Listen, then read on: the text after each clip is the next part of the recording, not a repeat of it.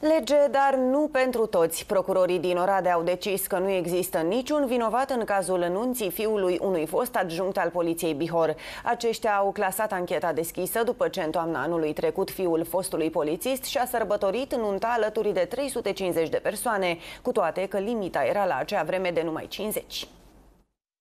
Procurorii din Oradea demonstrează că legea poate fi interpretată în funcție de cine o încalcă.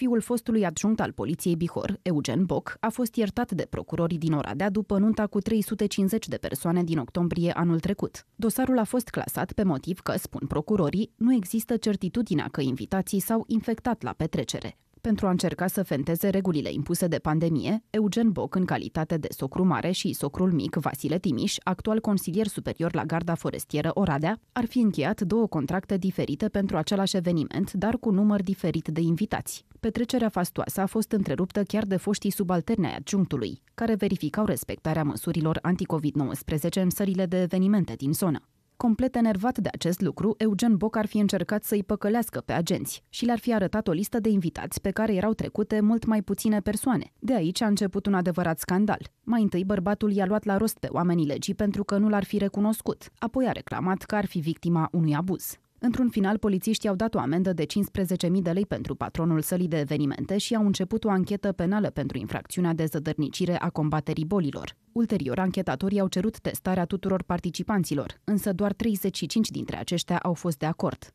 Șase petrecăreți, printre care și mireasa, au fost confirmați cu SARS-CoV-2.